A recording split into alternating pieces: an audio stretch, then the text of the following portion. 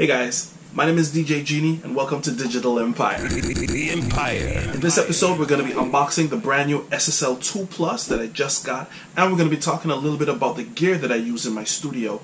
So, for those of you who don't know me, here's a brief introduction into DJ Jeanie. A DJ Jeanie, niggas are watching. DJ Jeanie. I'm a producer DJ. Um, been DJing for about 15 years, producing and engineering for a little bit over 18 years.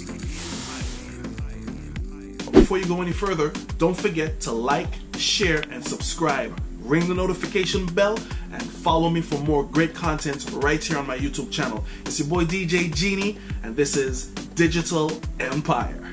Um, started out of necessity back in the early 2000s. Everybody wanted to be G Unit, be the next big rapper, and um, living on the island of St. Vincent and the Grenadines at the time, studio engineers didn't want to take rappers seriously. It was either dance hall or reggae.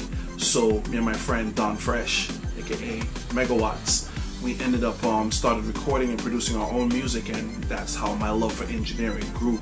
And then because we started engineering and recording our own music, it didn't sound too good. So we ended up DJing so we can play our own music because no one wanted to play the music. Fast forward several years later, um, I'm a world-renowned engineer, producer, DJ. I've traveled a lot of places, a little too numerous to mention right now. I've engineered for some really crazy people. I've done some production work for some really, really great artists as well. My more recent production is um, Mailbox Rhythm. I don't know if you guys have heard of it, but if you haven't, check it out. It's streaming everywhere. Yeah, it featured Shell Marshall, myself, Blacks, and Karita. That did really well for Trinidad 2020 Carnival. Right now, we're gonna get into the unboxing of the brand new SSL 2 Plus. Okay, guys, here we have it. The brand new SSL 2 Plus just came out.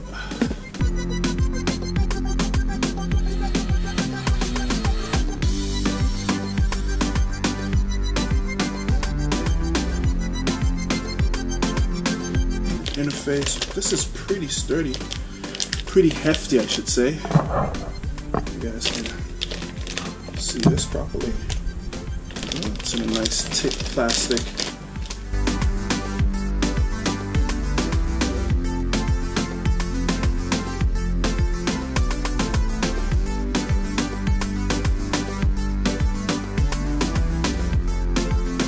What's new with the SSL 2 Plus or what's different, why I upgraded from my Audient ID4? Well, to begin with, my ID4 has been giving me a few issues. I've noticed it constantly disconnecting from my laptop.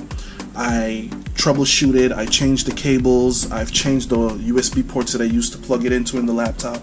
I even went and bought this Sabrent um, USB hub, but it still drops in and out. It's really irritating. So when I heard SSL was dropping an interface, I was like, what better interface to get than one that is made by guys who've made legendary mixing consoles? If it's one thing they'd get right is an interface. So this interface comes with two input channels, has a volume knob, light that lets you know when it's connected to your laptop. This monitor mix lets you go from the input, which would be the lines coming into the interface, and the USB monitoring levels from your laptop. And it also has two headphone volume control knobs. That is one of the reasons why I got this particular device because it allows you to blend and mix the headphones separately. I just think this is a pretty cool feature to have. Two headphone volume knobs. So if we turn this around and we go to the back, it's USB powered. That is also another reason why opted for this. Having the ability to travel with my interface and having not being powered by a outlet or traveling with a bulky wall wart, this allows me the affordability to plug up in an airport, plug up on a bus, plug up on a train, and just get going. I can mix on the fly using my headphones. Um, moving along, you'll see it also has MIDI in and MIDI out, two headphone ports in the back. I think they could have put these headphone jacks to the front, but eh. So it also gives you output one, output two. Those are XLR outputs, tip ring sleeves that goes to your speakers. Then you also have RCA connector outputs for output 1 and 2, and then they give you 3 and 4 if you want to connect to, say, your DJ mixer and then out to something else. Here we have the universal input connectors. Um, these are tip ring sleeves. I think they're called Trident inputs. I'm not too sure. Uh, tip ring sleeve and XLR inputs for line um, inputs, whether it's a microphone or a guitar or bass or whatever device. And above here in channel one, you see it has the plus 48, that's for phantom power. And you have the line, that's to let it know whether it's a line input or an XLR input. And then you have high Z that goes with line if it needs more power, something like a bass guitar or anything. And then you see it has the 0 to 40 monitor meters. Um, also, a really cool feature that I've seen in a lot of reviews and um, the product demo video talk about is this plus 4K button.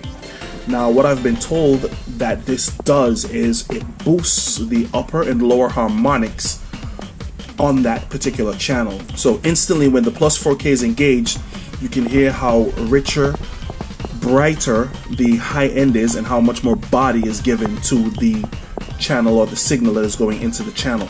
So that's something I'm looking forward to testing cables we have the ones that I really don't like the USB-C cables. It's like they also have this so that's pretty cool. I'm gonna plug it in and um, give this thing a go in a minute. Um, all the reviews I've seen about this box says it's a pretty well built amazingly sounding device. I'm really looking forward to working with this. I'm not gonna sell my Audient ID4 Instead, what I'm going to do, I'm going to keep it as a backup um, interface for smaller projects. Yeah, so this has been my unboxing video of the SSL2. I'm gonna give you guys a quick uh, snap of a couple of the other stuff that I have that I use. This is my little home studio setup at Digital Empire.